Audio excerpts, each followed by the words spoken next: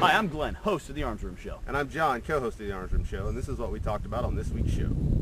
We had Josh in the studio with us, and he works in cybersecurity, and he was talking with us about how to protect ourselves in a digital world and some of the more common mistakes that people make, and why most of us should be a lot more interested and pay a lot more attention to what we're doing out there on the internet.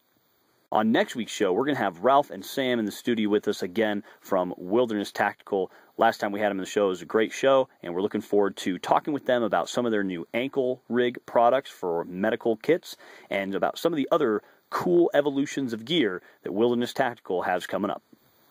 Be sure to check us out at thearmsroomshow.com, where you'll find links to our podcast, our YouTube, and our Facebook page. You can also listen to us on iTunes, and you can find our show schedule on our website for every three month period so that you can see what we've got coming up. Until next time, stay aware, stay safe, and train hard. You've been listening to The Arms Room.